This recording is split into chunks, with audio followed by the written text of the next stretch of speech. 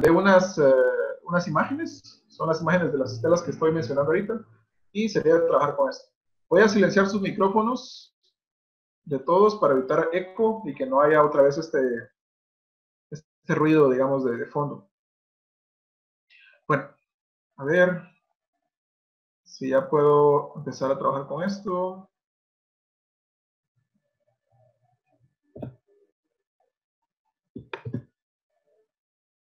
Ok.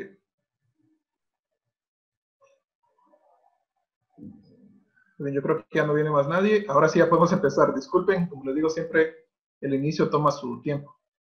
Vamos a ver.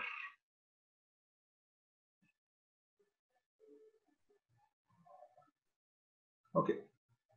Bueno, entonces, lo que habíamos discutido hasta la sesión pasada era justamente sobre esta estela, que es eh, nada más y nada menos que la estela 31 vertical.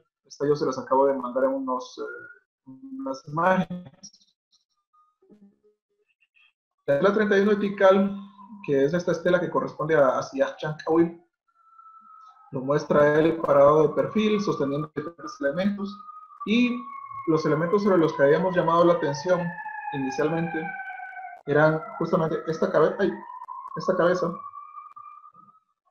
que es la cabeza del dios jaguar del inframundo, de Tikal, y que justamente, si ustedes ven aquí arriba, ustedes pueden ver el famoso Utul, con un superfijo que es el holograma Ahau.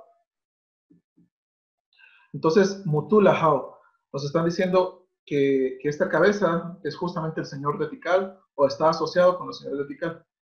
A ver, se está integrando más gente.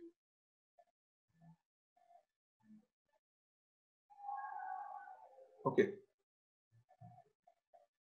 Ya están.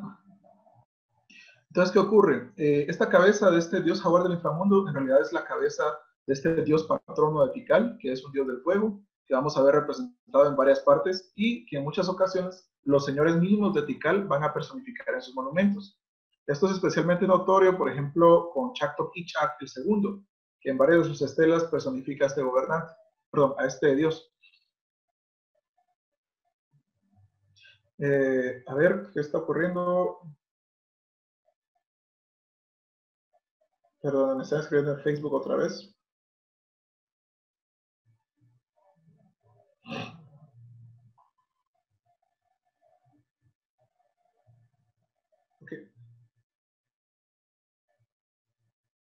Me parece que ya están todos. No sé. En fin. Es que se van sumando. A ver, continuando con esto.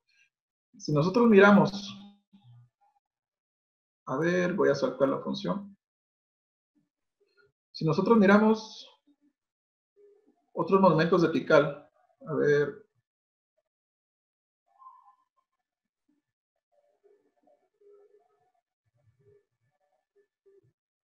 Si nosotros miramos otros monumentos de Tikal,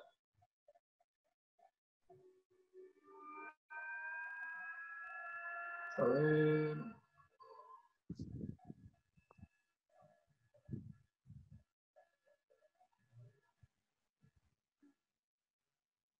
Un momentito. Por ejemplo, esta, que es la estela 13. La, estela, la, perdón, la estela 13 de Tikal representa justamente eh, a estos gobernantes eh, vertical vestidos como este dios jaguar del inframundo. A ver.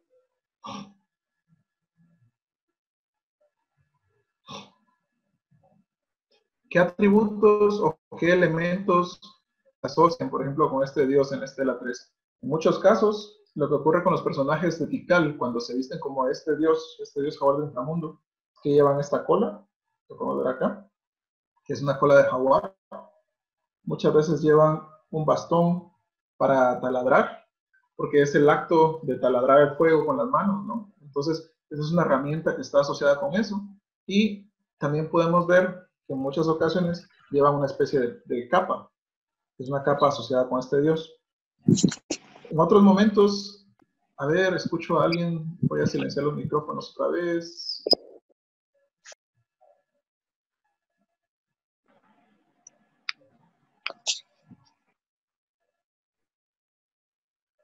Estela 13 es como de, de 450 a 500, no tengo la fecha exacta ahorita.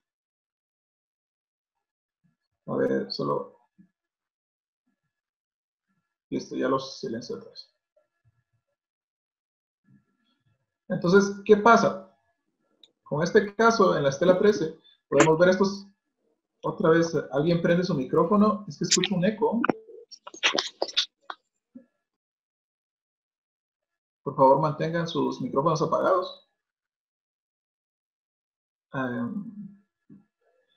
bueno, entonces, ¿qué ocurre? Con este personaje que llamamos el dios del inframundo, que es este dios que varios personajes de Tikal, varios gobernantes de Tikal van a estar personificando. Lo podemos ver en la iconografía o en los elementos o atributos que ellos llevan. Entonces, elementos diagnósticos son justamente el famoso bastón, esta cola, que es una cola de jaguar, y esta capa. Muchas veces la capa tiene cabecitas como de jaguarcitos u otros elementos. Y a veces también podemos ver elementos en el tocado de los personajes que aluden a este dios. Vamos a revisar un ejemplo más.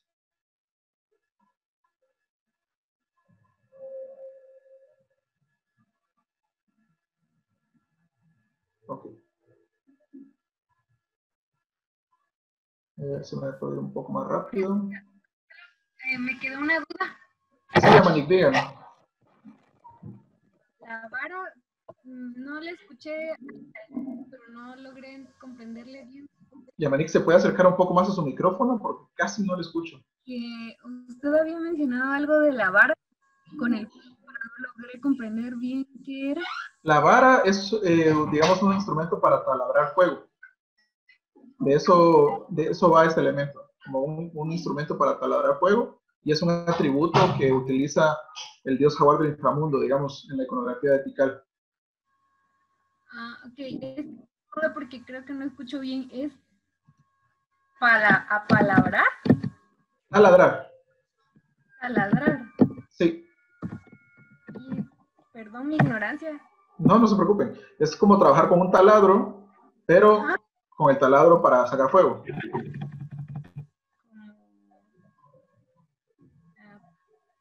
Ah, ya.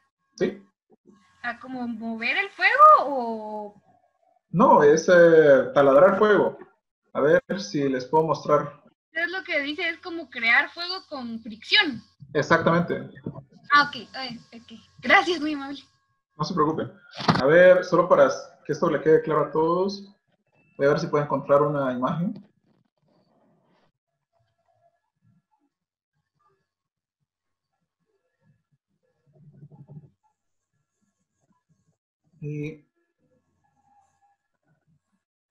Alejandro, eh, es, decir, el báculo o el bastón que usaba el gobernante eh, lo hacía en, para mostrar eh, que él era el portador del fuego, él era el, que, el que estaba en contacto con, directo y era alguien cercano al dios jaguar del inframundo, ¿era algo así? No era que él estuviera en contacto cercano, sino que cuando él se vestía como el dios jaguar del inframundo, él era el dios jaguar del inframundo. Entonces, cuando él asume esta identidad, él se convierte en este dios, al menos momentáneamente. Esa es la idea, que es muy típica de las personificaciones entre los gobernantes mayas. Entonces, si, él es, si él está vestido como este dios, es porque él es ese dios en este momento. Y solo para referencia, cuando me refiero a taladrar el fuego, me refiero a esto, a crear fuego con fricción. ¿Logran ver la pantalla? Entonces, eh, es básicamente este acto. Solo que, digamos, en términos eh, del arte maya, estos taladros que usan los gobernantes, como el que podemos ver acá, o estos báculos largos, están asociados en cierta forma con ese acto. Pero es solamente una forma eh, simbólica de representarlo. En otros casos, hay varas que en realidad son varas, como la que podemos ver aquí en la estela 22, que son varas ceremoniales. Aquí el gobernante está sosteniendo algo, pero no está vestido como el dios jaguar del inframundo, no lleva la capa y le faltan otros elementos. Creo que quiere preguntar algo, Yamanita.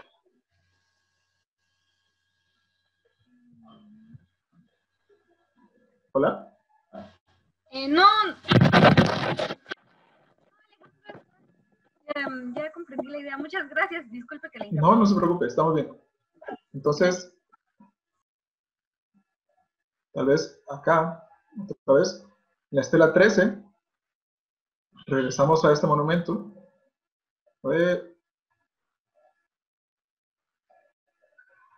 Sí, yo creo que es generar fuego por fricción eh, se refiere justamente a, un acto muy, muy similar eh, a lo que miramos en la tal vez algo como eso. Pero era una forma simbólica de asociarse con este Dios. Pero bueno, insisto, aquí solo les quiero recordar el tema este de que tenemos a este personaje siendo personificado por el gobernante de Tikal, en este caso en la Estela 13. En este monumento, si ustedes ven con cuidado, voy a pasarme a Paints. A ver. Si ustedes ven aquí en Paint, eh, Paint sorry, eh, en esta imagen, a ver, ustedes pueden ver que esta parte del texto, acá, lleva una frase que llamamos una frase de personificación, porque está personificando.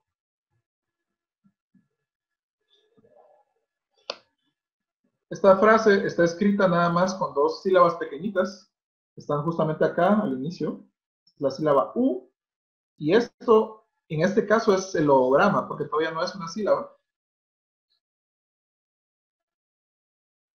En el periodo clásico temprano, para los que conocen un poco más de esto, esto todavía es el logograma Bah.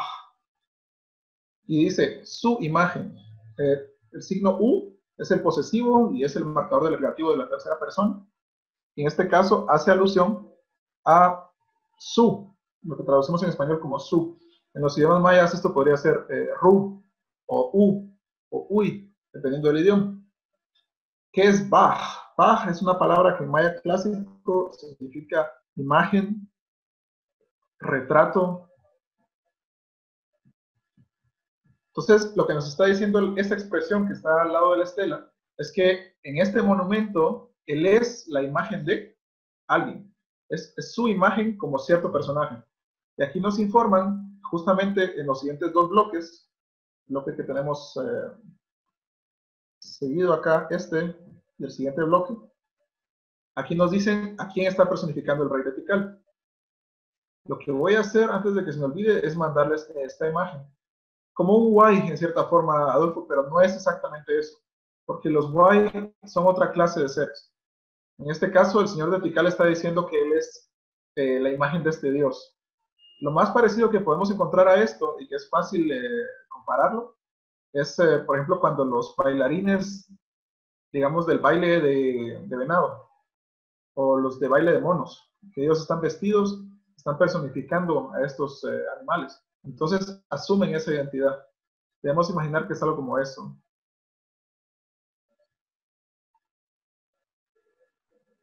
Ok.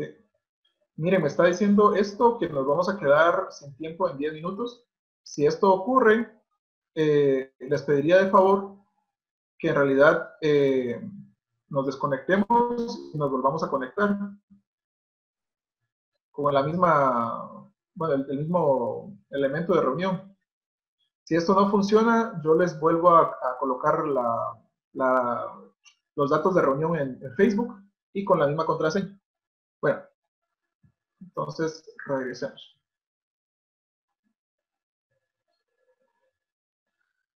¿Qué es lo que tenemos aquí?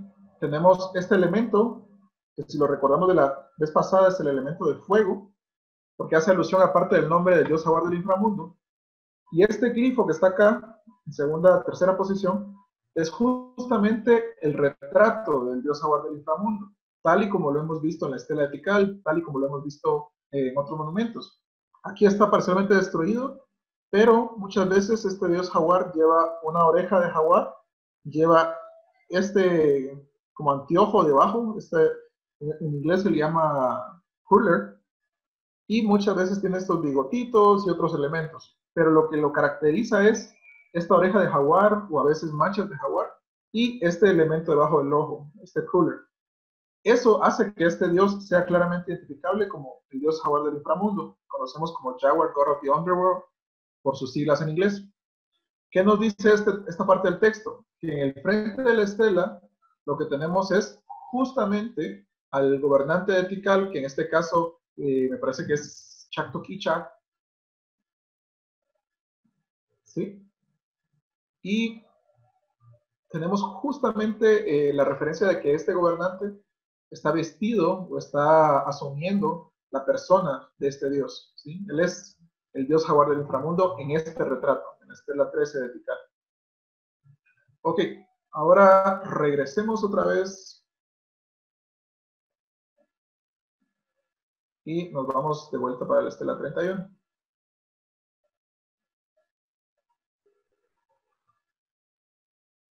Oye, creo que apreté mucho, perdón. La estela 31 lleva en su frente este retrato de Siach Kawil, que fue del que estuvimos hablando en la sesión pasada. Este elemento, el gobernante lleva eh, diferentes ornamentos que él está utilizando y muchos de ellos hacen alusión a la iconografía más temprana que miramos justamente en la estela 29. Entonces lo que quiero hacer ahora es cortar esto un momentito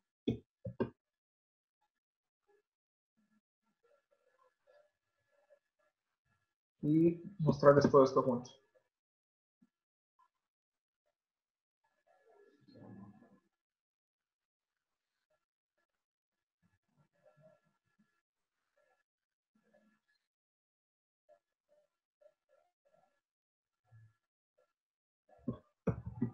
Creo que nos quedan seis minutos.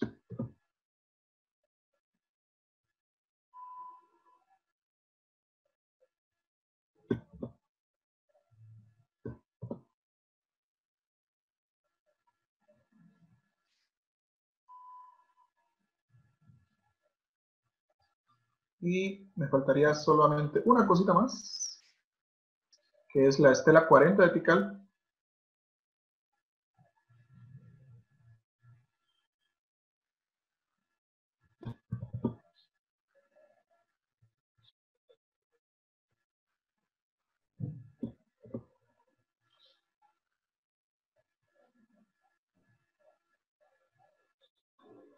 Entonces, solo para ir amarrando, con lo que miramos anteriormente. Tenemos la estela 29, que tiene muchos de los elementos que ya identificamos. Ya hablamos de estos adornos, por ejemplo, que lleva justamente acá. vamos a otro pincel. Este elemento que lleva acá. Vamos a hacerlo más grande. A ver el elemento que lleva el gobernante acá. Tenemos al ancestro divino arriba, también tenemos en Estela 31, tenemos parte de la decoración igual en Estela 31, tenemos la presencia del dios jaguar del inframundo, en el caso de la Estela 29 está dos veces, aquí en la Estela 31 es uno. Entonces, hay mucha iconografía que se repite a sí misma. Si nosotros nos dirigimos a la Estela 40 de Tikal, que también se encuentra en el sitio, podemos encontrar el elemento del nombre acá, este es el nombre de un gobernante más tardío de Tikal, que se llama, bueno, no más tardío, sino que es el siguiente a Siach Kawil, es su hijo. Es el que llamamos Kanchitam. Este tipo de representación es muy parecido a lo que miramos anteriormente con el nombre de Siach Kawil en su tocado. Y otros elementos son la presencia del dios Jabal del inframundo acá.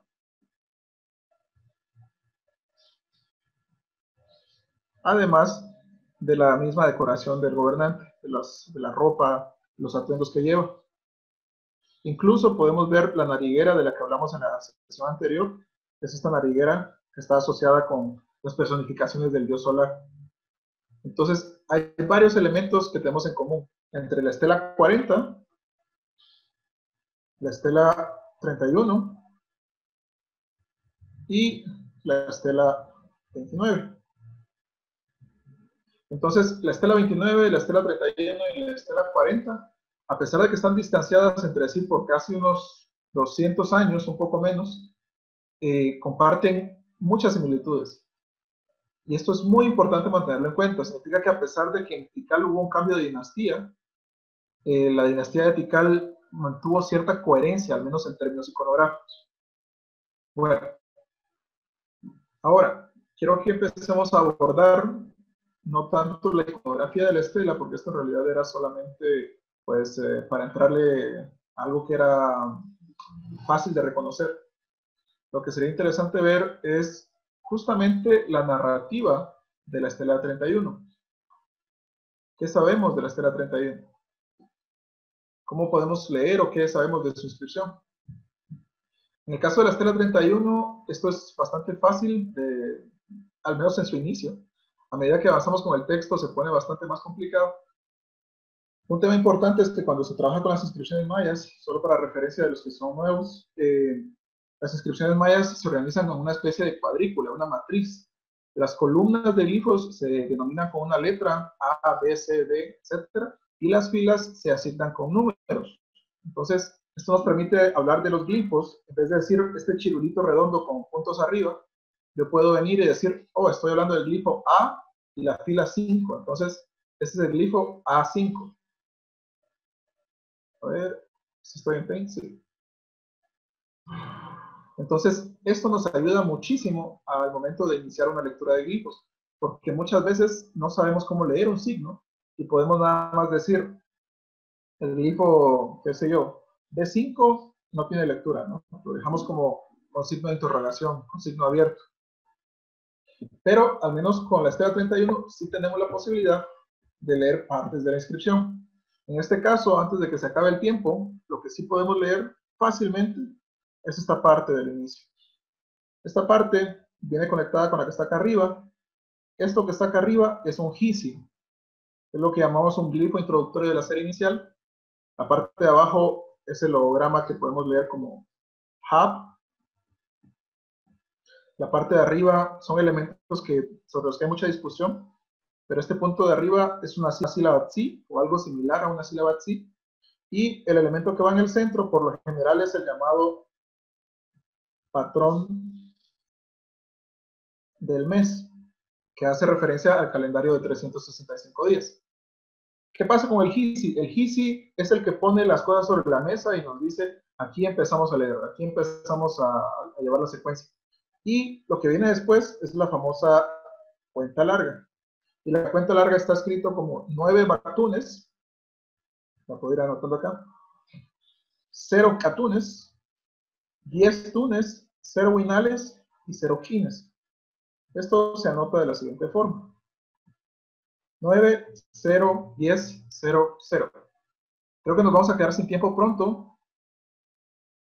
Y como les dije anteriormente, eh, si ustedes quieren agregarse a la sesión, solo vamos a volver a entrar a la misma reunión, supongo.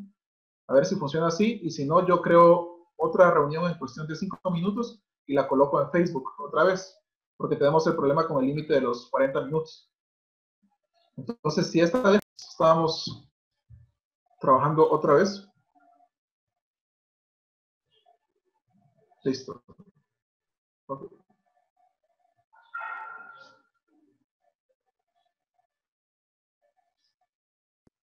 Estamos listos. Muy bien, perfecto. Ok, silencio sus micrófonos otra vez por las mismas razones que dijimos anteriormente y continuamos. Muy bien. Entonces, estábamos viendo la estela 31 etical. La estela 31 etical es este monumento que es sumamente importante para entender la historia de Tikal en el clásico temprano. Eh, y es básicamente el testimonio más extenso que tenemos de las inscripciones de Tikal. Ahí van. Vamos a ver. Se están sumando todavía dos compañeros más. Me queda la duda, ¿Marvin está conectado? ¿No? Creo que no, ¿verdad? No.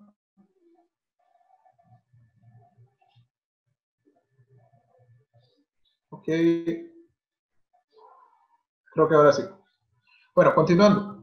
Entonces, les estaba diciendo, ¿qué pasa con la estela 31 Etical? Esta estela es por mucho el testimonio, el testimonio más extenso que tenemos de la historia temprana de Tikal. Tenemos varios monumentos tempranos de Tikal que son de cerca de esta época, pero tienen siempre el problema de que son fragmentarios, son solamente pedacitos de monumentos. Entonces, En el caso de la estela 31 de Tikal, tenemos una inscripción larguísima.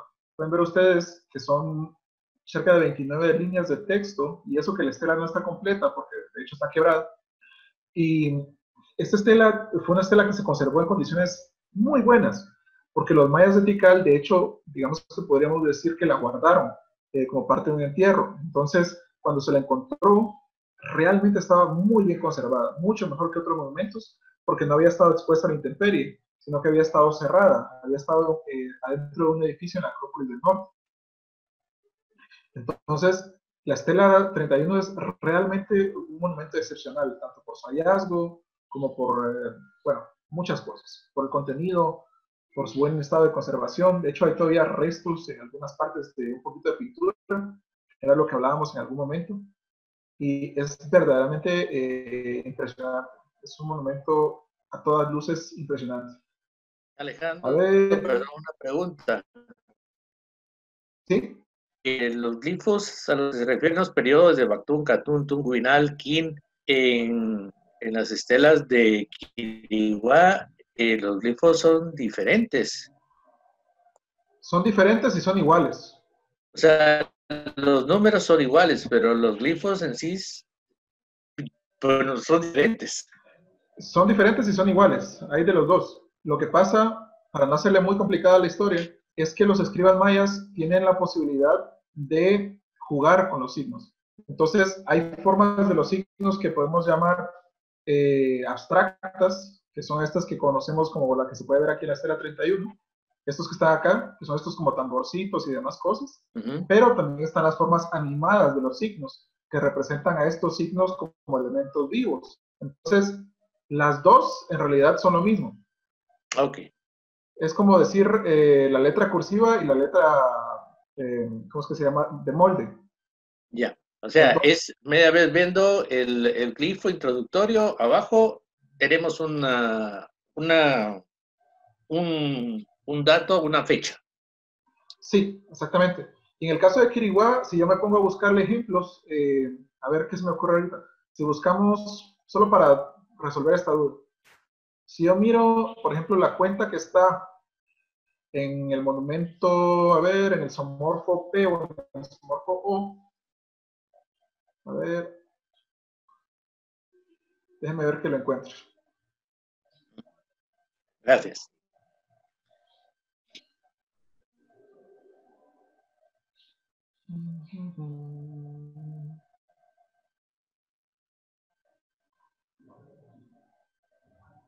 A ver si lo tengo a la mano, porque eso es la otra cosa.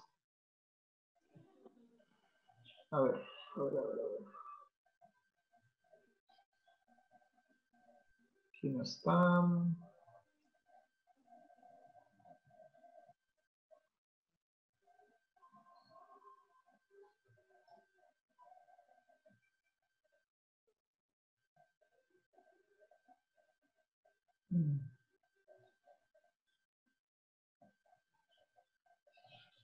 Ok. Por ejemplo, no sé, eh, no me fijé quién estaba preguntando, no sé a quién tengo que decirle. José. Pero, José, entonces mire, por ejemplo, acá tenemos la cuenta larga del somorfo O de Kiriguá. Si, ustedes, si todos ustedes observan, aquí podemos ver el, elemento que llamamos Hisi. Podemos ver el elemento de la cuenta larga, aquí está el Bactún, Catún, Tun, Winal, Kin. Y manténganse esta, esta imagen en su cabeza, ¿sí? Manténganse las formas de los signos ustedes se dan cuenta, son muy parecidos a los que tenemos aquí.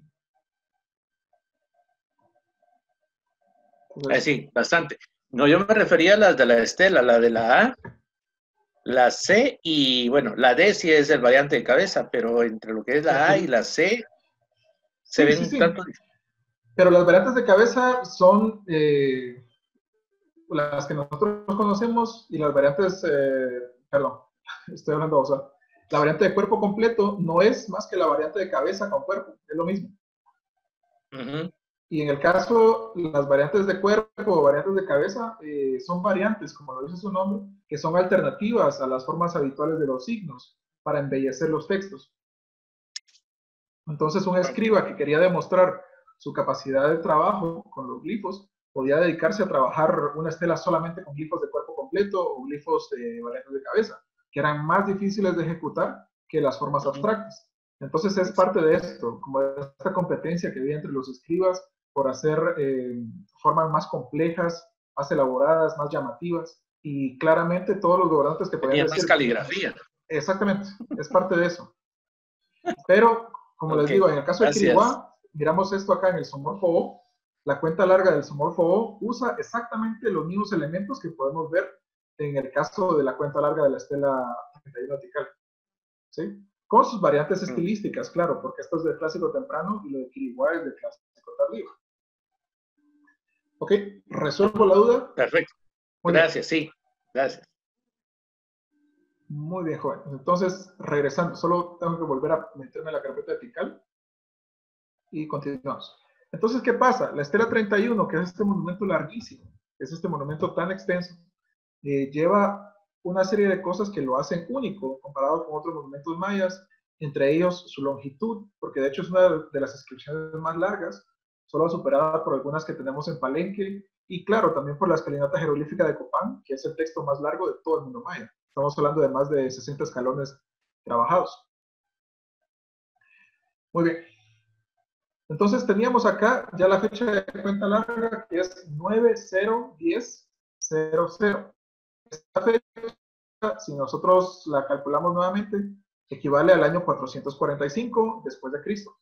Esta fecha es importante porque es apenas 10 años después del fin de periodo del noveno Bactún, que es como decir el cambio de milenio de los mayas del periodo clásico temprano. Entonces, solo para referencia de ustedes, para que puedan ver el cálculo de la fecha, lo tenemos acá como 9010000. La fecha equivale a un día 7 Ahab y al día 3 Yash. Y en el calendario gregoriano es el 17 de octubre del 445. Entonces estamos hablando de un evento a finales de año. Y vamos a regresar. Ok.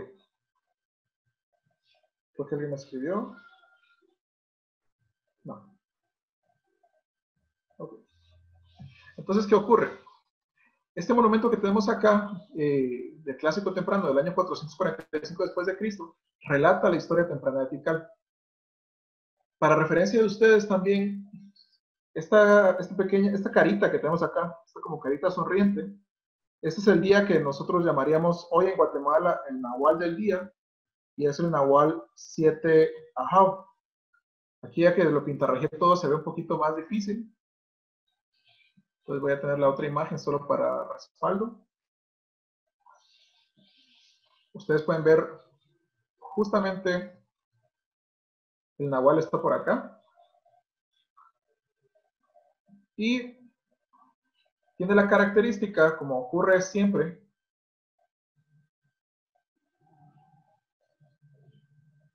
de llevar su pedestal. El día está anotado adentro de un pequeño pedestal con sus patitas. Y esto es justamente lo que nosotros llamamos el cartucho del día. Entonces, cada vez que miremos un elemento metido dentro de una pantallita como esta, vamos a hacer referencia al calendario sagrado de 260 días. Lo que en Guatemala también se llama Chocir o Tzolkin o Cholila Inale eh, o cualquier otro de los nombres que recibe este sistema. Es lo que normalmente también la gente conoce o asume como calendario maya. Pero como lo dije en algún momento, no hay un calendario maya, sino que hay muchos. En fin, si continuamos luego la secuencia, ah, perdón, antes de olvidarlo, aquí es el número, número 7, hay dos puntitos y una barra, ¿no? Entonces, este es el día 7 Bueno, si nosotros seguimos leyendo la estela y nos vamos más para abajo, siempre siguiendo el orden de lectura, izquierda a derecha, de arriba a abajo, en columnas dobles, nosotros vamos a encontrar otros elementos que corresponden a otros calendarios. Por ejemplo, esto que está acá, este signo un poco raro, es el glifo que llamamos el Señor de la Noche. Lo que tenemos al lado del glifo del Señor de la Noche es un glifo que llamamos el glifo F, y lo que viene después en esta posición que está hasta abajo, esto acá, es de hecho el glifo que corresponde al mes solar, que en este caso es el mes que nosotros llamamos Yash. Y es el tercer día del mes Yash. No puedo entrar a muchos detalles aquí porque en realidad esta parte de la fecha no es tan importante. Vamos a irnos un poco más abajo. Una cosa que sí vale la pena comentarles es que parte de los glifos que se registran acá son los glifos de la serie lunar o del calendario lunar. Y una de las características que tiene justamente este calendario lunar es que los meses lunares se clasifican meses de 29 o 30 días. Y ustedes dirán, ¿cómo se escribe el número 29 en el sistema maya cuando se está escribiendo aquí en glifos? Hay varias formas de hacerlo, pero una forma sintética es utilizando dos logogramas. Y esto se hace cuando se está escribiendo los monumentos en las estelas, no en los cálculos matemáticos que aprendimos en la escuela que se hacen con las posiciones. En este caso, lo que ustedes pueden ver es este glifo que está arriba, es como una especie de luna llena. Ese es el glifo para el número 20, que se lee Winik o Cal. Y lo que está acá abajo, creo que ustedes lo pueden ver sin tanto problema, es una barra, la barra del 5, 1, 2, 3, 4 puntos, es decir, es el número 9,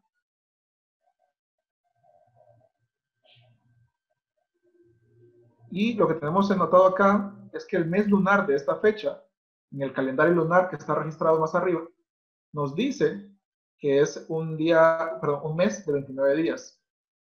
Es decir, el mes siguiente sería de 30, y luego el siguiente mes sería de 29 otra vez, y así sucesivamente. Entonces, eso se lo dejo solamente como, como referencia. Muy bien. Ahora, si nosotros seguimos leyendo aquí ocurre uno de los eventos más interesantes de la estela 31 epical, y es que precisamente como estamos en una fecha de mitad de un catún, la fecha es 9010.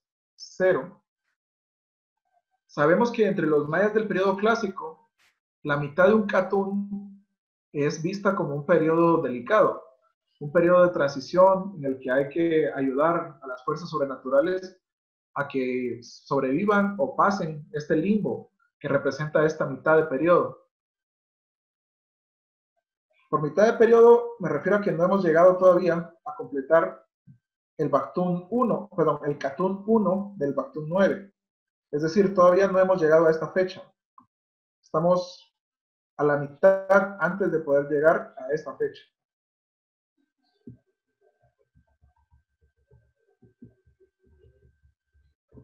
Bueno, ¿qué es lo que ocurre?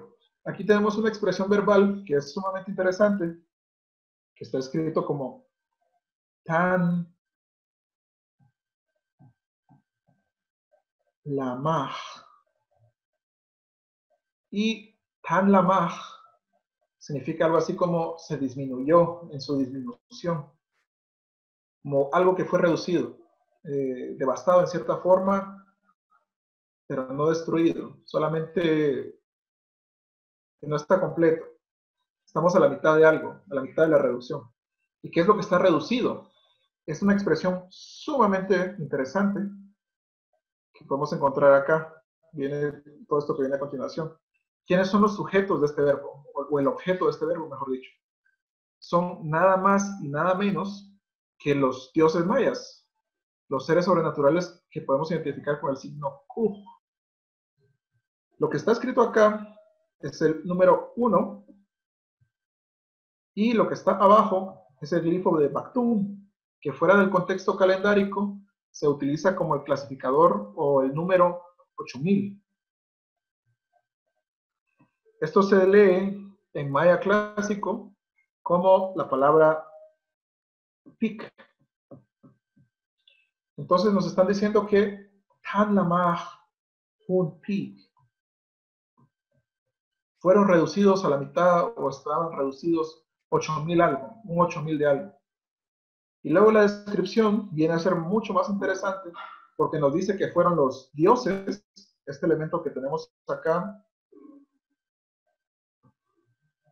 ese es el elemento que podemos leer como Dios, pueden verlo acá, lo pueden ver en este otro libro acá, Ese es el glifo que nosotros leemos como Kuj.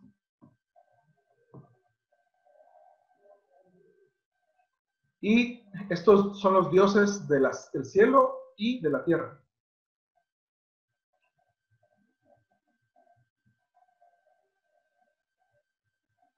Perdón.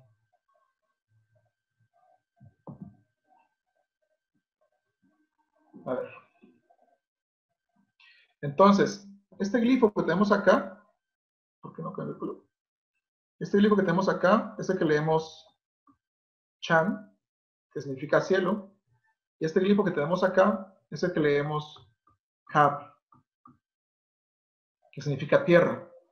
Entonces, para, para, para, un poco lo que está haciendo esta primera parte del texto, está diciendo que se redujeron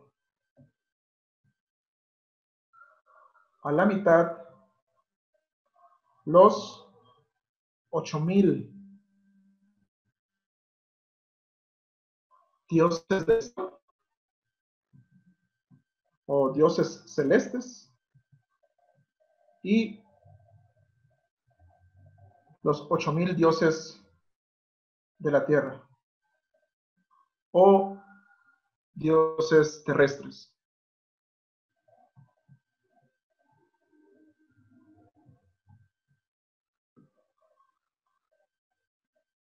¿Qué implicaciones tiene esto? Significa que al menos para este momento, cuando se está celebrando esta ceremonia, en este fin de periodo, el gobernante maya de Tur tenía la obligación de ayudar a estos seres sobrenaturales a sobrellevar el cambio del fin de periodo. Entonces, esto es sumamente importante, porque significa que el gobernante maya tenía un papel activo en asegurarse que estas entidades anímicas sobrenaturales eh, siguieran activas, siguieran vigentes, perdón, a pesar del cambio de fin de periodo que representaba esta transición peligrosa o delicada para ellos. Entonces, esto es sumamente importante porque nos está hablando de una creencia sobrenatural de los mayas de la época clásica. Voy a borrar esto y voy a colocar una nueva versión del dibujo para que podamos continuar trabajando sobre él. A ver.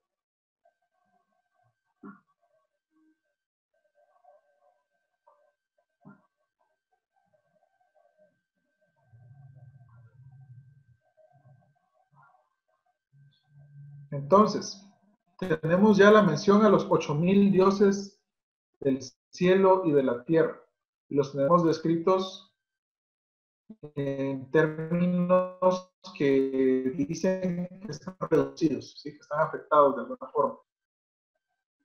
Lo interesante es que luego la lista que viene acá, esa lista que acompaña el resto del texto, en realidad hace referencia a los otros dioses, no solamente los dioses del cielo y de la tierra, sino los otros dioses por nombre que podemos identificar. Y uno de los dioses que es facilísimo de reconocer es justamente el primero que está acá. Les dije que este dios tenía por lo general esta orejita de jaguar. Tiene por lo general este elemento que está debajo de su ojo y en varias ocasiones lleva manchas en el ojo o en el cuerpo, manchas de jaguar. Este personaje que es mencionado entre esos 8000 dioses del cielo y de la tierra que son reducidos, es nada más y nada menos, puede ser el dios jaguar del inframundo. A ver si no estoy... Mm, puede ser el dios jaguar del inframundo o, alternativamente, y esto solo lo puedo sugerir por el contexto, porque esto es una pareja de dioses, por eso estoy yo más equivocado en este caso, es el dios remero, jaguar. En realidad creo que sí, yo estoy equivocado. No es el dios jaguar del inframundo, sino que es el dios remero jaguar, que se parece mucho al dios, al dios jaguar del inframundo. Ya les voy a explicar por qué digo que es uno y no es el otro. El dios que le acompaña a esta carita que está al lado es justamente su compañero, y por eso es que digo que debe ser el dios remero. Este es el llamado Dios remero espina de mantarraya o espina de raya. Por eso es que pienso que en realidad estaba yo equivocado al inicio, me disculpo. ¿Qué pasa? El dios remero jaguar y el dios remero espina de raya o espina de mantarraya forman una pareja. ¿Y cómo, cómo los reconocemos? Porque siempre están juntos, siempre están los dos mencionados al mismo tiempo. Entonces no podemos separar uno del otro. Por eso es que al inicio me había confundido, disculpe. Y, a ver, podemos reconocer al dios remero mantarraya, que es como el que nos ayuda en el diagnóstico de este grupo, porque si ustedes ven su nariz, si la tenemos acá, esa nariz es perforada por este elemento, por una espina de mantarraya. Por eso se le llama dios espina de mantarraya. Entonces, este dios aparece en muchos casos eh, junto con el dios remero jaguar en estos cambios de fin de periodo. Ellos siempre están asociados con los cambios de fin de periodo. Hay una ponencia en el Simposio de Investigaciones Arqueológicas de Guatemala. Déjenme ver si lo puedo encontrar y se las comparto una vez. Que fue presentada hace un par de años por un compañero mexicano.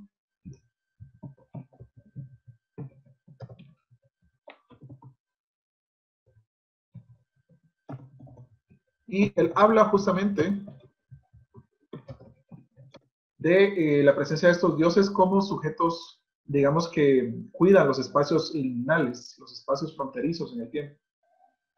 Es una presentación de Ángel Sánchez Gamboa y ya la encontré, ahorita se los voy a compartir. Solo para ponerlos en contexto.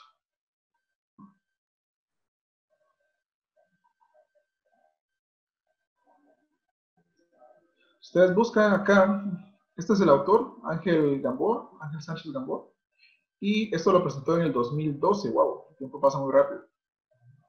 En este caso, eh, Ángel recolecta los ejemplos justamente acá al final. Voy a compartirles ahorita en el chat. A ver. Si ustedes pueden ver, a ver, tal vez sería más fácil entrar al PDF y ver el PDF del archivo.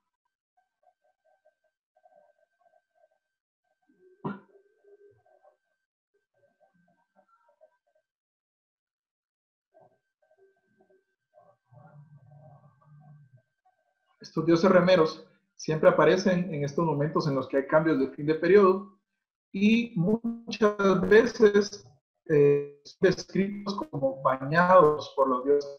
Es como que ellos se encargan de estos cambios del tiempo y los dioses a cambio de ello, perdón, los gobernantes a cambio de ello los bañan o los cuidan en cierta forma. Aquí podemos ver justamente algunas de las representaciones del dios remero jaguar. Pueden ver justamente su aspecto, que es con manchas de jaguar, a veces lleva esta línea debajo del ojo. Por eso me confundí al inicio con el dios jaguar del inframundo. Y tiene una variante abstracta, que es esta que podemos ver acá.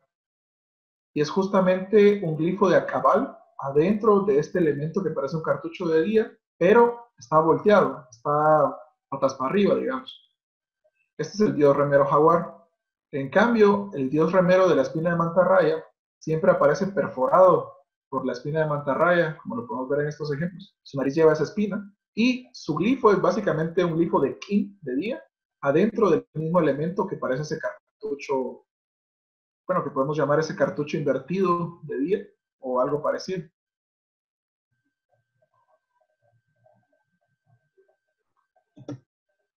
Ahí. Perdón, alguien se me va la onda.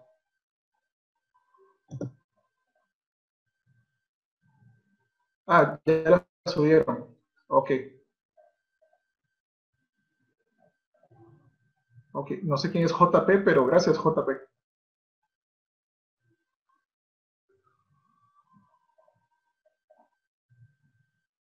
Ah, Pech. Es que no aparece tu nombre. Bueno, entonces el tema con el dios espina de mantarraya es eh, que siempre aparecen como parejas. Por eso es que puedo decir con bastante certeza, tal vez vamos a ver un ejemplo nada más, de que eh, no, no los podemos encontrar separados. Por ejemplo, acá están en su forma abstracta, la estela de 23 de naranjo, o aquí en el altar 1 de Piedras Negras están muy erosionados en el glifo M1, pero sabemos que son ellos dos. Y bueno, vamos a continuar. Alejandro. Sí. Una pregunta. Eh, ¿A qué hace alusión el, lo de remeros? ¿Qué son remeros? Uh, esa es una pregunta buenísima. Eh, me van a pedir perdón, bueno, les tengo que pedir perdón, mejor dicho, me voy a salir un momento de la esfera 31 vertical, solo aprovechando la pregunta de Yamanik, y les quiero mostrar por qué les llamamos dioses remeros. Resulta que estos dos personajes aparecen muchas veces eh, en monumentos y en otros lugares solo con sus glifos, solo con la forma abstracta de sus nombres, podríamos llamar. Pero hay unos ejemplos maravillosos que representan a estos dioses justamente remando. Y esos ejemplos, eh, una parte de ellos de hecho viene de Tikal, que son los famosos huesos del entierro 116 de Tikal.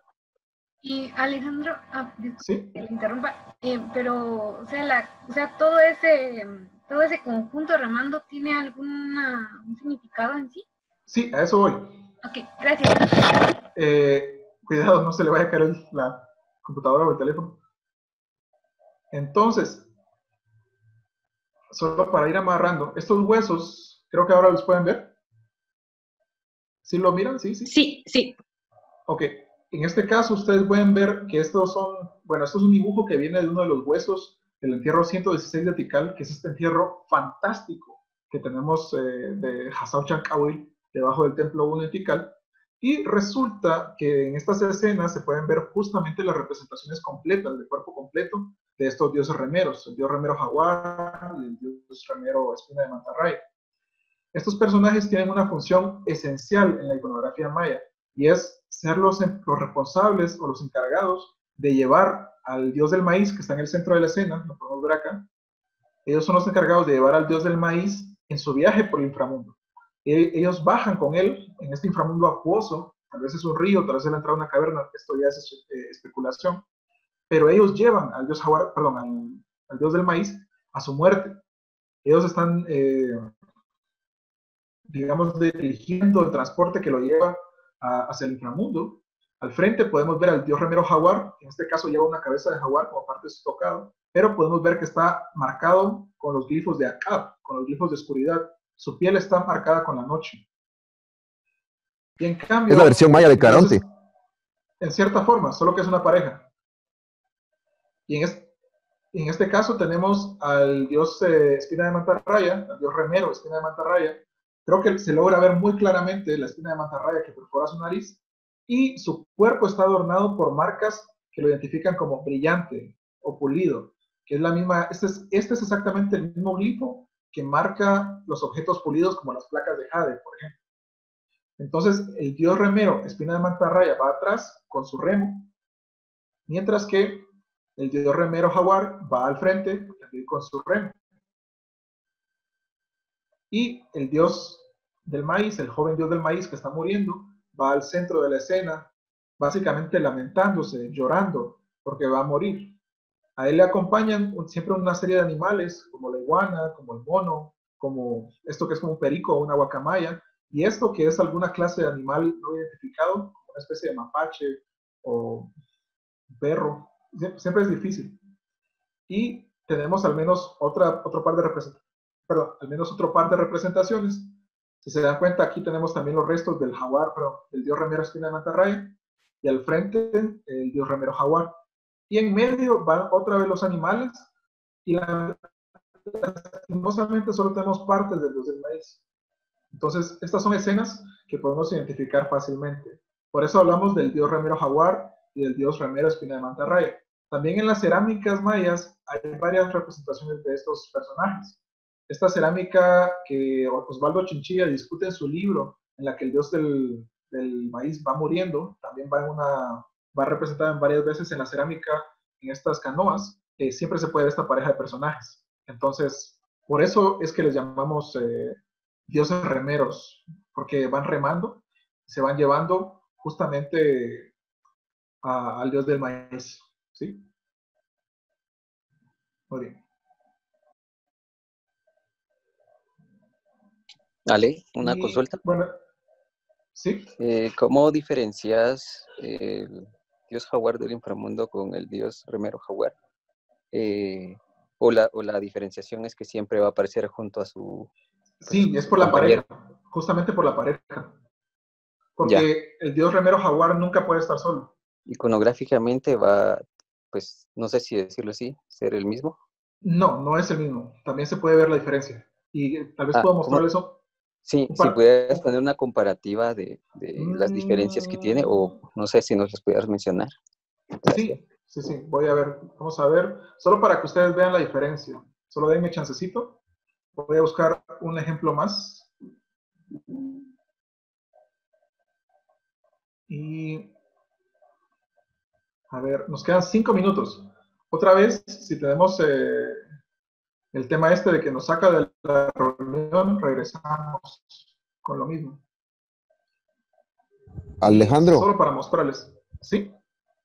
eh, ya que se está hablando de la iconografía, iconográficamente del- de, de los dioses jaguares, eh, a lo mejor puedes mencionarnos o decirnos eh, el- la función, mm, tengo esta duda, ¿qué, eh, qué era el, el dios jaguar de los nenúfares? Si es exactamente el dios jaguar del, in- del inframundo o, o- o es otro dios jaguar, ya que estamos hablando de los jaguares como, como dioses en la iconografía. Por favor, Sí, gracias. En, en este caso no es lo mismo. El dios, este dios jaguar nenúfar no es, eh, es el Water Lily Jaguar y es eh, básicamente un elemento iconográfico. Es un jaguar con que sale del agua. Es, es diferente. Y no, no es un dios per se, sino que es manifestación de la naturaleza. Entonces, solo para, para referencia. Perdón, Alejandro, Sí, Oscar. eh, como sugerencia nada más, dejamos las preguntas para el final, porque si no vas a tener que estar y cambiar y cambiar y cambiar en, en, eh, en las plataformas. Sí, sí, sí, pero ya vamos a esto. No se preocupe, ya vamos a continuar. Pero gracias. Eh, solo para terminar de responder la pregunta de Tepeo y comparar, este personaje que podemos ver aquí de frente, justamente, es eh, el dios del inframundo, en esta escena que nos saca del templo del sol. Y podemos verlo de frente, también con su diente salido, lleva este elemento del, ojo de abajo, lleva las orejas de jaguar, lleva su pelo amarrado. Este es el aspecto del dios jaguar del mundo, especialmente el tema de pelo amarrado con el adorno debajo de los ojos, el famoso curler. Entonces, eh, sería esto. En cambio, si nosotros regresamos, bueno, ya se me fueron otra vez, si nosotros regresamos al motivo de Tikal, a los dioses remeros, eh, digamos que se parecen mucho, pero el contexto en el que aparecen nos permite hablar de que son personajes diferentes. El dios eh, jaguar del inframundo por lo general aparece en, escudos de guerra, aparece personificado por los dioses, y, perdón, por los gobernantes, y en cambio el dios remero jaguar aparece nada más en este tipo de escenas mitológicas. Entonces son personajes diferentes. Muy bien, entonces ahora me voy a cambiar y regresamos a la estela 31. Entonces, habiendo visto ya el argumento para ver esto, podemos hablar de estos dos personajes que no son eh, el dios remero jaguar, pero no son el, el dios jaguar del inframundo, sino que son los llamados dioses remeros. Me parece que alguien subió en el grupo de Facebook uno de esos documentos que alguna vez generó Memo Cantún sobre el tema de los dioses jaguares. Si les interesa un poco más de esto, pueden eh, abordarlo. Yo creo que es un documento bastante ilustrativo y muy claro. Y pueden consultarlo sin mayor problema. Sí, exactamente, Walter. El dios jaguar del inframundo lleva el pelo amarrado.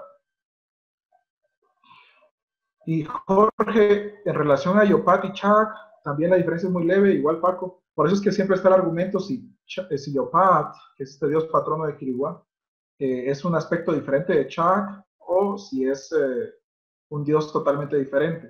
O sea, siempre está esa discusión abierta sobre si se trata de, personajes distintos o no. En lo, en lo, personal yo pienso que son dioses diferentes, pero eso es un argumento muy largo y no vamos a hacerlo hoy.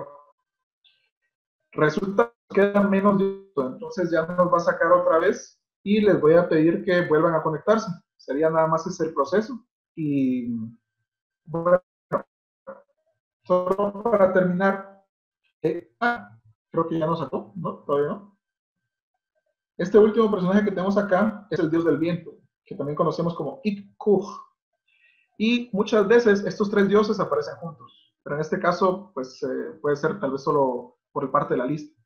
El Ik-Kuch es el dios del viento y también es el dios de la música de los mayas prehispánicos, de la época clásica. ¿Listo? Listo, muchas gracias. Ok. Y solo estoy viendo que se están sumando otros dos. Y ya vamos a continuar.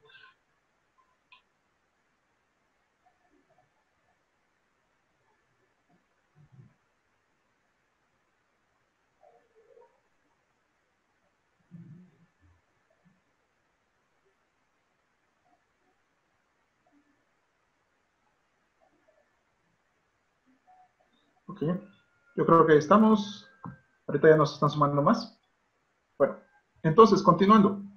En este caso tenemos... Eh, ¿Sí? ¿Perdón?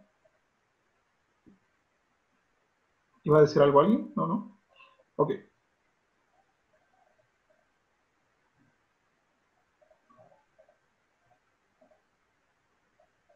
A ver. Se están sumando dos más. Solo voy a agregar estos y continuamos. Entonces, en este caso, justamente,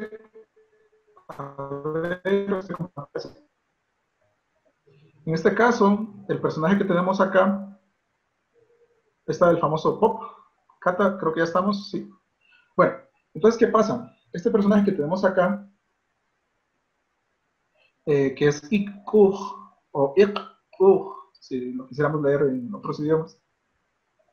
Es un dios que conocemos de muy pocas representaciones, aparece en muy pocos monumentos y lo conocemos realmente solo de, de unas cuantas eh, representaciones del cuerpo completo. Quiero mostrarles una, tal vez la que es más obvia, y es justamente una representación que viene del sitio de Ceibal. Este dios del viento aparece muchas veces eh, mencionado. En diferentes sitios mayas. Y tiene un elemento que es muy llamativo. Y es justamente el hecho de que tiene este pico de pato, este pico alargado o esta boca alargada. Por eso, en algunas ocasiones eh, se ha sugerido que debe tener algún grado de conexión con el llamado Quetzalcoatl de, del centro de México. Pero esta conexión entre los dos personajes es en realidad pues muy tenue, más allá de esta similitud física o similitud iconográfica, no tenemos eh, mucho más para mencionar esta conexión. A ver, les voy a mostrar aquí. Entonces tenemos en la estela 3 de Ceibal justamente en la base del monumento, el personaje que tenemos a la derecha. Si ustedes lo ven aquí a la derecha, pueden ver que tiene el pico alargado, esa boca es un pico de pato en realidad, y la mano lleva un chinchín, y enfrente de él hay otro personaje. Entre ellos, lo que hay es un tambor. Y esto parece que no es casualidad, como les decía anteriormente, este dios del aire o dios del viento está asociado, al menos en la iconografía maya, con la música y con el acto de hacer música. Entonces, eh, él puede ser Dios del aire, Dios del viento, pero también Dios de la música. Muy bien. Entonces, regresando. En el caso de la estela 31 etical, no se le ve este pico alargado tan notorio, pero se le puede ver que está como remarcado de una forma diferente, como para señalar que esa parte del cuerpo es distinta, porque en realidad debería ser un poco más así pero por cuestión de espacio no lo tiene. Ahora, él lleva el elemento ik justamente a un costado en esta especie de orejera, y este elemento es justamente el atributo de las representaciones del viento, muchas veces, de lo que llamamos ik, aire, en el arte maya. Otro elemento importante es que lleva esta cinta en el pelo, termina en una especie como de pompón, y ese es otro de sus atributos cuando también aparece como el dios del llamado número 3, si mal no recuerdo. El número 3 es representado por este dios en su forma de variante de cabeza. Ahora, hay un tercer elemento que vale la pena mencionar, y es este pequeño, bueno, este pequeño tatuaje, si quisiéramos llamarlo así, que lleva en el cachete, que da la impresión de escribir la palabra IL, y es un elemento, digamos, que parece aludir a, los cosméticos, pero que en realidad en el arte maya aparece asociado con los dioses jóvenes y bellos. Entonces podemos verlo aquí porque el dios del viento es un dios joven y bello. A ver, están escribiendo por aquí. Podría ser, Marvin, podría ser que esté eh, haciendo esto. El ejemplo de San Bartolo eh, también lo podemos encontrar. Vamos a ver. Denme un, segundito.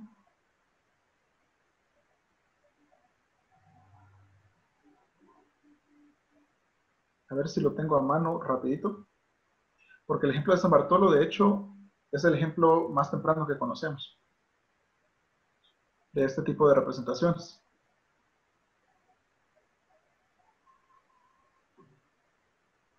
A ver si lo tengo solo.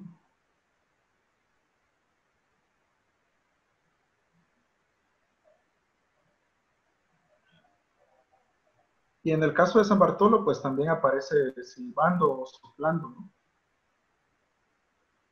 A ver, creo que eso está tardando un poquito en cargar.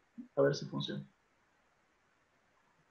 Bueno, creo que el ejemplo de San Bartolo se los debo, parece que no quiere funcionar. Y nada más necesito ver.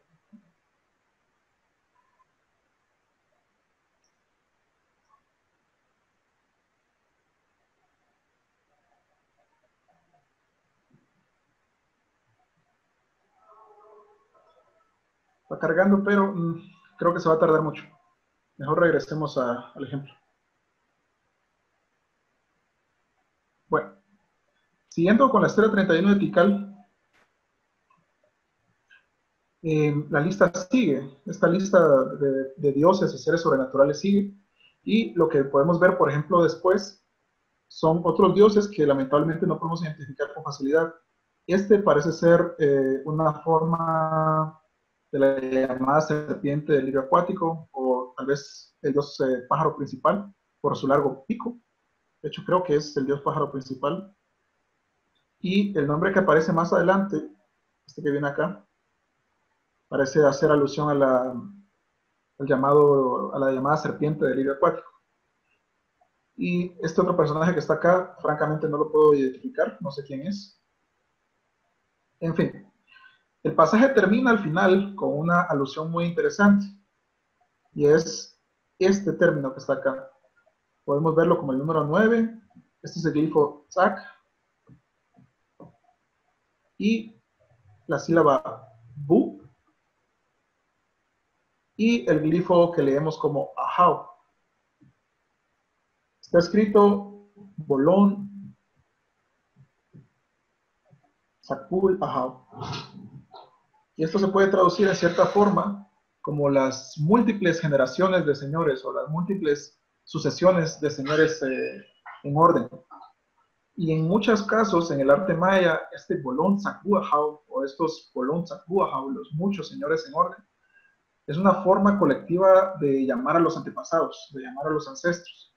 Entonces, en este caso, parece que junto con todos estos dioses que se están recuperando eh, a la mitad del fin de periodo, también tendríamos una representación o una identificación de que los ancestros divinizados del gobernante también estarían presentes. Entonces, es parte de este gran colectivo de seres sobrenaturales. Ahora, para ir terminando, y esto es justamente donde entramos ya en la parte con contenido que hemos visto previamente, el, elemento que está escrito acá es un glifo que podemos leer como U-K-I. Y este elemento significa que algo está siendo realizado bajo la supervisión o bajo los auspicios de alguien. Es decir, que alguien autoriza que esto ocurra. O esto está ocurriendo bajo la vista de alguien. Y el responsable de esto aparece mencionado acá, es parte de su nombre. Si ustedes recuerdan, cuando miramos la estela 31 de hablamos de que había un nombre en la cabeza del personaje central de la estela. Y ese nombre es el nombre de Siah Chankawil, el segundo. a ver. Si nosotros regresamos a la estela 31,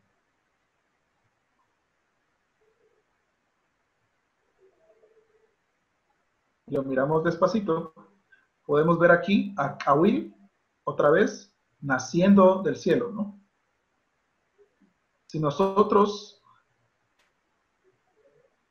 regresamos a la estela 31 vertical, lo que tenemos es justamente lo mismo. Aquí es muy difícil verlo, pero hay un ojito, y ese ojito viene acompañado de esta cabeza. De esta cabeza están saliendo llamas, está saliendo fuego, y podemos ver aquí los bracitos de Kawil, del Kawil que están haciendo. ¿De dónde están haciendo Kawil? Kawil están haciendo otra vez del cielo.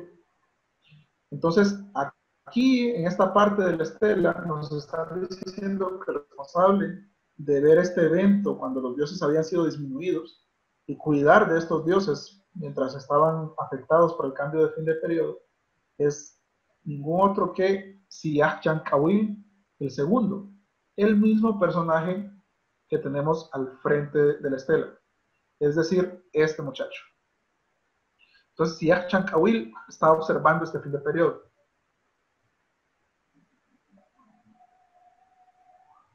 ¿Cuándo ocurrió este fin de periodo? Solo recordemos, ¿no? Ocurrió en el año 445, ¿sí? Tengamos esto en mente. A Siach Chankawil le acompaña un par de glifos Quizás uno que se puede reconocer fácilmente es el que tiene acá en la siguiente posición. Y ese es el glifo de Señor de Tikal, Mutulahau. Después de eso, vienen unos glifos que podemos reconocer fácilmente. Uno de ellos es esto que parece una especie de nuez con llamaradas encima. Y otro es este que está acá, que es una mano que sostiene un elemento curvo. Hoy eh, me parece que Walter estaba haciendo comentarios sobre esto y los glifos de parentesco. Este que tenemos acá es el glifo que se lee como Yal, hijo de mujer. El glifo que tenemos acá arriba se ha propuesto como lectura U-Mijin para este glifo. U-Mijin significa hijo de hombre. Entonces, este glifo identifica el parentesco de un muchacho con su padre y este otro glifo identifica el parentesco con una mujer, con su madre. ¿Por qué pongo Umihin con signo de interrogación? Porque en épocas recientes se ha cuestionado esta lectura y no estamos del todo seguros de que en realidad siga siendo válida. Entonces, Umihin es una lectura, digamos, de uso, pero sobre la que todavía no hay certeza total y absoluta de que estemos correctos. Ahora, estos elementos que vienen acá son parte de la frase nominal extendida de un personaje del que apenas hemos hablado. Y quiero que nos enfoquemos un poco en él. Su nombre es bastante icónico, podemos reconocerlo con facilidad. Y lo encontramos acá. Este no es otro que el, famoso, el ya famoso Yash Nun allí.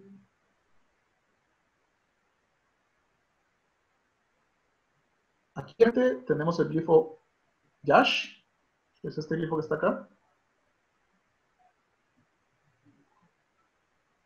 En la parte de arriba Este nudo que tenemos acá es el glifo que leemos como Nun. Y precisamente abajo tenemos el glifo que se lee Ayin. ¿Se acuerdan qué significa la palabra Ayin? La mencionamos. Cocodrilo. Cocodrilo. Cocodrilo, exactamente, cocodrilo. Entonces, en diferentes idiomas mayas es eh, Ayin, también me dijeron eh.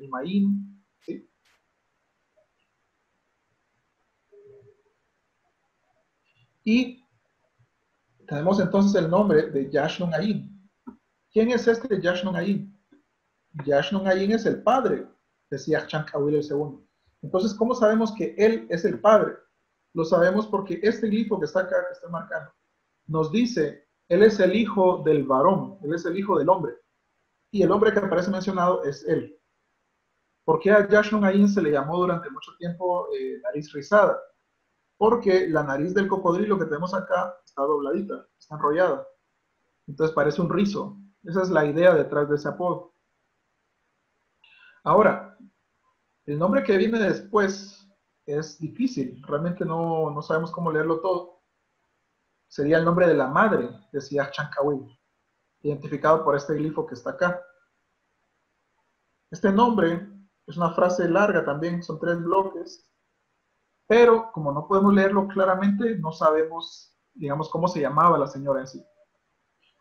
Un elemento importante es que también tenemos acá, parte de su nombre correspondería al glifo del dios jaguar del inframundo, otra vez con este elemento de los, eh, que cubre los ojos, el cruller, la oreja de jaguar, y en este caso tenemos un glifo de Kin, de sol, que puede hacer alusión a que este es un personaje combinado de el Kinichahau, el dios solar, el dios jaguar del inframundo.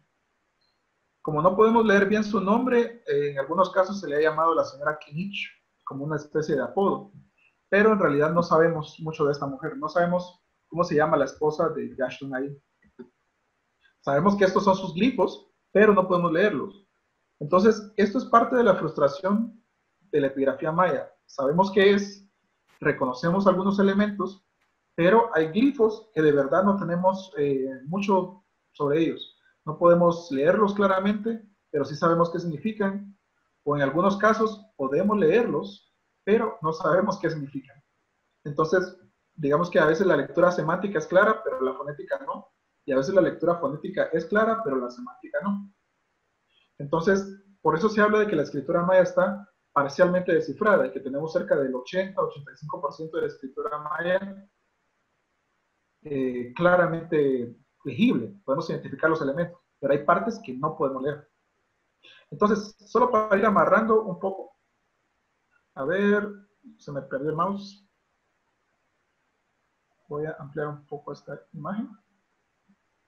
Lo que tendríamos es, a ver, ¿dónde está?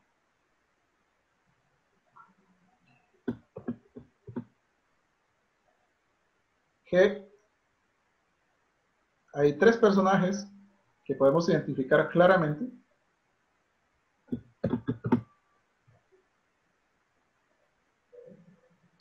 Y estos tres personajes están conectados. Claramente. Bueno, este salió recortado. Vamos a hacerlo mejor.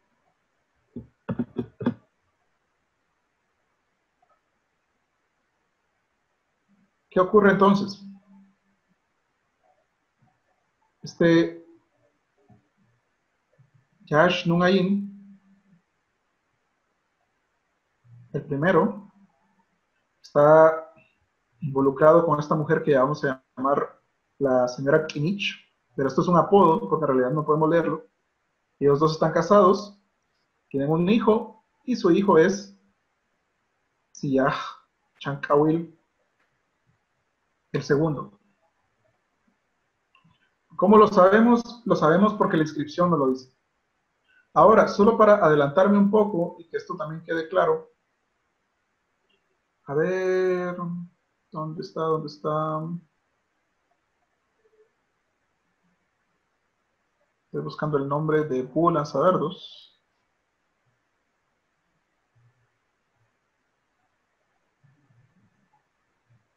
Aquí está.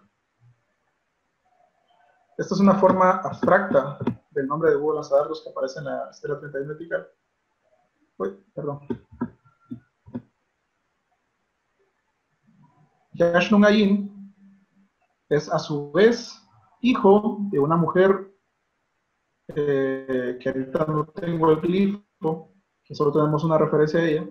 Él es hijo de Hatsokui, que es el que también conocemos como búho lanzadardos. ¿Cómo lo sabemos? Otra vez lo sabemos porque la inscripción no lo dice. Entonces tenemos varias referencias a esto. Entonces, solo para seguir amarrando, el muchacho que dedicó la estela es Siah Chankawil. Él es el responsable de la estela en el 445. Este hombre que está hasta arriba, que es su abuelo, es el rey de Teotihuacán, él es un gobernante en Teotihuacán.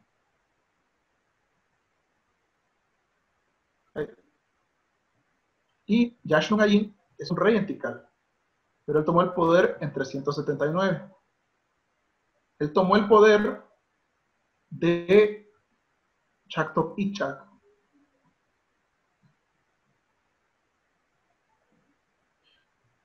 Y justamente más adelante en la inscripción aparece mencionado Chactok y Chac y nos dicen cuándo le quitaron el poder.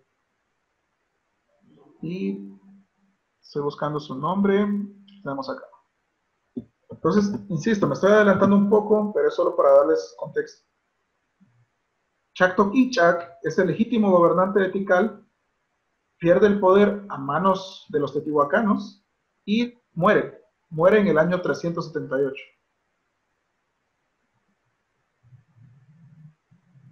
Entonces, solo para que tengamos más o menos claro la narrativa. Hudson Kubi, búho lanzadardos, es el responsable de eh, la muerte del gobernante de Tikal de turno, que es Chak Ichak, quien va a morir.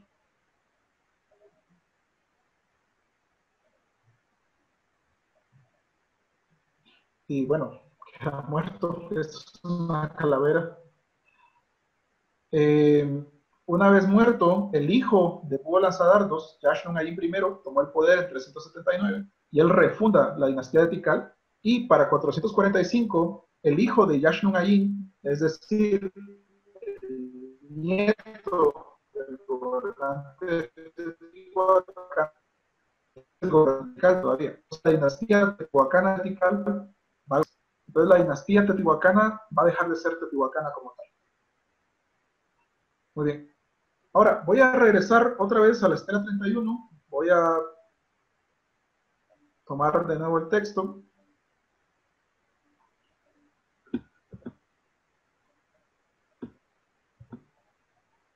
Para que así tengamos un texto limpio.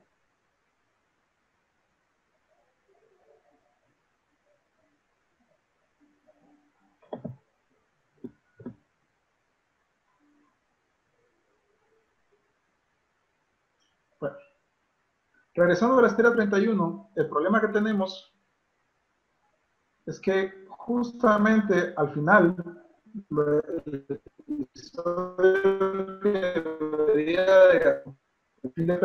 el nombre de los padres de Siak está destruido. Esta parte del texto está destruida, simple y sencillamente está destruida. Luego viene un salto temporal porque tendríamos que regresar al texto, a una parte, digamos, que es como una oración a la mitad, una oración de la que sabemos una parte, pero no sabemos el resto. Y esta parte del texto viene acá, tenemos que seguir leyéndola en zigzag. ¿no? Esta parte del texto hace mención a diferentes señores de Tikal que gobernaron antes de la llegada de los teotihuacanos.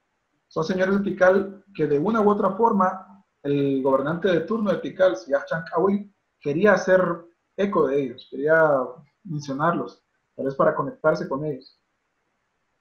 En este caso tenemos un personaje que no podemos leer su nombre completamente, pero que llamamos a veces eh, jaguar foliado.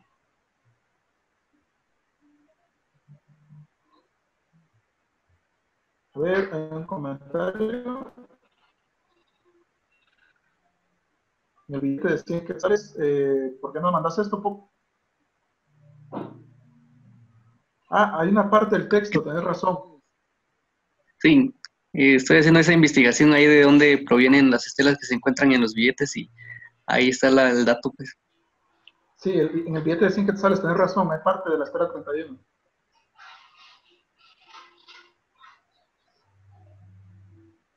Bueno, Eh, Alejandro, una pregunta. ¿Esta Diga. parte destruida en la estela es, es, eh, fue vandalizada o fue destruida a propósito en ese periodo o en un periodo posterior, por, eh, por ejemplo, a propósito para borrar ese nombre eh, de la historia como ha sido frecuente en las difi- diferentes culturas del mundo? eh, O, en este o caso, fue la erosión del tiempo? Fue, fue destruida en tiempos prehispánicos. Fue destruida en tiempos prehispánicos. Porque cuando se la removió donde estaba originalmente, se destruyó esa base. Entonces, eh, eso fue lo que pasó. Esta fue destruida, digamos, por los mayas prehispánicos. Y no, no sabemos nada de esta base, no sabemos dónde está. Ok, solo voy a ir terminando de mencionar estos personajes históricos eh, del clásico temprano, de los que no sabemos nada más, porque en realidad solo aparecen, en- incluso solo aparecen mencionados en esta estela. Entonces, uno de ellos es Jaguar Foliado, otro de ellos es este personaje que está acá, que es eh, Ish, Unen, Balam, esta señora Bebé Jaguar, y esta señora Bebé Jaguar, eh, en algunos casos parece ser una divinidad, en otros casos parece que sí fue una reina, una reina histórica de Tikal. Entonces, eh, siempre hay que ver este personaje con un poco de cuidado. Y más adelante, menciona, esta es la frase completa, este es el nombre completo, digamos. Pero la frase que normalmente usamos es nada más esta. Y menciona al gobernante histórico que es Chaktok y Chak. Entonces, sabemos que la parte del texto, digamos, fue destruida cuando se fue la estela. Eh, gobernantes aparecen descritos como los responsables de celebrar diferentes fines del periodo. ¿Cómo lo sabemos? Porque justamente acá, por ejemplo, en esta parte del texto, marcarla, podemos leer eh, una inscripción que dice que el 7 de Ajau, en el día 7 de Ajau, se amarró la piedra y se completó el catún. En este caso,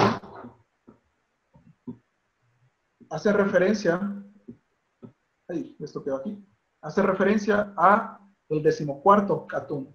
Eso en términos históricos, o para tener la fecha presente, esto hace referencia al 8 Baktun.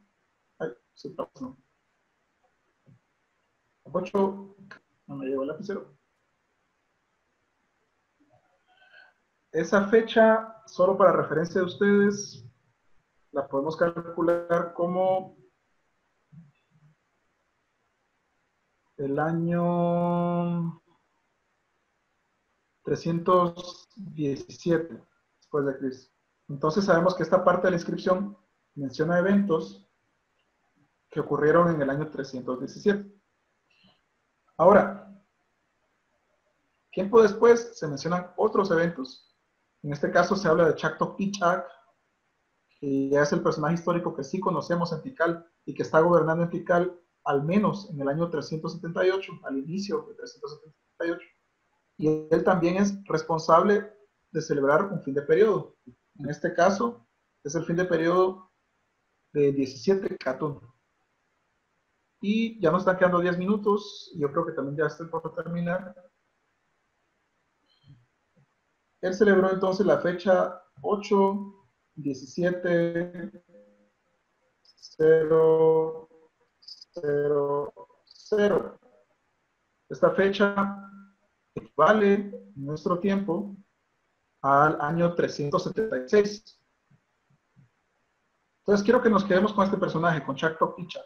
Chaktok Ichak estaba celebrando un fin de periodo en el año 376 después de Cristo y sabemos que él es todavía, por lo menos hasta el año 378, es decir, dos años más tarde, el gobernante de Tikal en turno, ¿sí? Esto es muy, muy importante. Chaktok Ichak era el gobernante de Tikal hasta 378. Pero justo la inscripción más adelante avanza y nos menciona un evento fundamental, sumamente importante. Yo lo voy a dejar acá para ir terminando. Y este evento está escrito acá con una fecha de que podemos leer como 11 e que en algunos idiomas hoy se leería como 11 e o E, eh, y es o, o también en Ajobal. Este día es el día 11 diente. En diferentes idiomas mayas hoy se analiza como camino o algo parecido, pero en realidad la forma antigua del nombre es muy clara y por eso el escriba maya lo que dibuja es una mandíbula. Entonces, 11 U es una fecha sumamente importante en la historia maya de Tikal.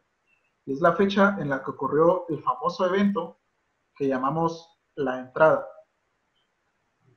Y es justamente en esta parte de la espera 31 de Tikal que les marqué, donde nos menciona la entrada. Y aquí va a entrar en el juego un personaje del que no hemos hablado hoy, que se llama Siahkak. Siahkak aparece muchas veces en la literatura con su apodo, que es rana humeante. ¿Por qué se le llama rana humeante? Porque los primeros epigrafistas miraron que esta parte del glifo, la parte que se lee como sig o siyaj, era como una especie de rana o sapo, y siempre se miraba que de la rana o del sapo estaban saliendo llamaradas. Entonces, un apodo, mientras entendíamos cómo leerlo, era, era rana humeante, la rana de la que sale humo. ¿Quién es este rana humeante? Cuyo verdadero nombre es Siaskak. Siaskak, ay, perdón, se fue aquí una es Si Siaskak no es otro que el lugarteniente de los ejércitos teotihuacanos. Este es el líder del ejército que manda el señor de Teotihuacán. Él no es un noble, él no es un rey, él es un servidor de este personaje, de Hudson Code, de Búho Lanzadardos. Búho Lanzadardos no se puede ir a conquistar Tikal él solo. Entonces, en vez de ir él, manda a un hombre de confianza y ese hombre de confianza no es otro que Siaskak. Y vamos a hablar más de él eh, en la próxima sesión. Y yo creo que vamos a ir cerrando ahorita. Nos quedan seis minutos y medio y yo quisiera abrir el espacio para preguntas. Tal vez lo último que quisiera decirles antes de, de cerrar es que el mismo día 11 EP, que es cuando la gente de Teotihuacán entró a Tikal, justamente acá abajo, cerrando el pasaje, podemos ver el nombre de Chacto Ichak y su nombre está asociado a una expresión que se lee och o Och-ha. En este caso es Och-ha, que significa entró al agua. ¿Por qué? Porque Chacto Ichak fue muerto el mismo día que los teotihuacanos entraron a la ciudad de Tikal y al igual que el dios del maíz, él entró al cuerpo acuoso del inframundo. Por eso se dice que entró al agua. Pero lo vamos a ver el próximo jueves y yo creo que les dejo los cinco minutos que quedan para discutir si hay alguna consulta, algún comentario. Alejandro, perdón, eh, por ahí estaba leyendo que antes de venir a Tikal, Búho Lanzadardos eh, se tuvo una unión matrimonial en Teotihuacán con una princesa maya. Pero no sé qué tan cierta sea esa teoría. Ok, ahorita me están diciendo que se escucha entrecortado, tal vez me confirman si ahora se escucha mejor. Em, sí, sabemos que hay, sabemos que hay alguna relación dinástica entre bolas Adardos y la gente de Tikal. Hay una estela, no recuerdo ahorita si es la estela 1 o la estela 2 de Tikal, que menciona a esta mujer como la esposa de Bolas Adardos. Y es la única referencia que tenemos a ella en toda Tikal. Entonces sí hay una referencia a que Hugo Lanzadardos estaba casado con una mujer de origen maya. Y se puede especular que esta mujer de origen maya era de Tikal y eso le daba derecho a su hijo a sentarse en el trono de Tikal, en cierta forma. pero no tenemos mucha evidencia, solamente hay una referencia glífica que es un poco problemática, y más allá de eso no hay otra cosa. Es una especulación, ¿no? Porque tenemos que asumir que alguien que tenía derecho al trono de Tikal era quien se iba a sentar ahí, y por eso se asume que está casado Lanzadardos con una mujer maya de Tikal. Hudson Coy. Hudson Coy, exactamente. ¿Viste? Eh, ahora, Ronnie dice, Alejandro. ¿por qué sabemos que Lanzadardos era el gobernante de Teotihuacán? Porque tenemos una inscripción maravillosa, que es el llamado marcador de Tikal, donde nos dan información de cuándo él tomó el trono y cuándo se sentó en el trono de Teotihuacán. Tenemos referencias glíficas a esto. También tenemos una estela en el Zapote, que es otro sitio cerca de Tikal, que habla de esta toma del poder. Entonces sabemos que los mayas tenían noción clara de que él era gobernante de una gran ciudad y esta gran ciudad, digamos por deducción, tiene que ser Teotihuacán. Tenemos textos mayas que nos hablan del nombre de esta ciudad y de gente de esta ciudad y podemos especular sanamente de que se trata de Teotihuacán. Por ejemplo, en el marcador de Tikal nos dicen que él viene de un que Siacac y Bulanzadardos son de un lugar donde están las montañas nevadas. Y estas montañas nevadas parecen hacer alusión a los nevados del centro de México, ¿no? como el nevado de Toluca, eh, eh, entre otros. Ale, ¿qué nombre tenía él en Teotihuacán? No lo sabemos. No tenemos cómo leer la lectura, o sea, no sabemos cómo leer los glifos de Teotihuacán. Lo que sí es interesante es que sí tenemos eh, un glifo en Teotihuacán que es el búho lanzadardos. O sea, hay un topónimo que es la montaña del búho lanzadardos. Y esto sí se puede leer en los textos de Teotihuacán, porque es un tecolote que lleva un lanzadardos. Este aparece representado en algunas partes de la ciudad. Entonces sabemos que los mayas no se inventaron el nombre de este personaje. Tal vez Búho Lanzadardos era el título del gobernante, o era el título de un sacerdote de la ciudad o algo así. Y era un título que se podía, digamos, traspasar de una sucesión a otra. De, en cierta forma, como pasa con el título de César entre los emperadores romanos, ¿no? O sea, había un César, había un segundo César, un tercer César, aunque ellos tenían sus propios nombres. Entonces, tal vez los mayas de Tikal interpretaron que Hugo Lanzadardos era un nombre y en realidad era un título, no lo sabemos. Pero sí sabemos que el nombre Búho Lanzadardos aparece en Teotihuacán, es parte de la iconografía de la ciudad. Eh, sí tenemos un nombre para la ciudad de Teotihuacán y está escrita como Pu, que es algo así como lugar de tules, es decir, una forma del periodo clásico de lo que como clásico vamos a llamar Tolán o Tula. Parece que Teotihuacán era vista por los mayas como esta ciudad de los carrizos, este lugar casi mitológico. Y Alejandro. Los nombres están escritos en maya clásico, Edgar. No es Quechí, no es Quiché, no es eh, Cachiquel, no es ninguno de los idiomas modernos, sino que en realidad se trata de un idioma muerto, un idioma que ya no existe, que es el maya clásico, también llamado maya jeroglífico.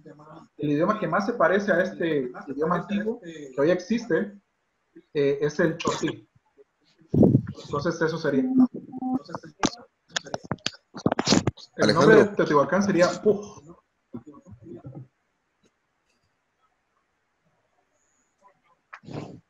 Si pudiéramos, eh, Alejandro, si pudiéramos este, visitar el Tikal de esa época, de ese periodo, eh, la gran plaza eh, todavía no existía. el templo 1. Ya estaba el espacio, lo que no existían era el templo 1 y el templo 2, y las formas del clásico tardío de varios edificios de la Acrópolis del Norte además de los palacios de la Acrópolis eh, Central. Pero en la Acrópolis Central ya estaba el, el palacio de, de Chactoquicha. Es decir, el, el, el, palacio que visitamos en la Acrópolis Central es el palacio de eh. Es uno de esos palacios, porque hay varios. en el que él vivió. Sí, es uno de los palacios, porque hay varios. Y chicos, creo que el tiempo se acaba. Los miro el jueves a las 5. Otra vez. Gracias, Alejandro. Gracias, Alejandro. Feliz noche. Gracias, chicos. Gracias. Gracias, Alejandro. Gracias, Alejandro. Buenísimo. Gracias, Alejandro. Buenísimo. Gracias, Alejandro. Buenas noches. Gracias. Muy buena presentación.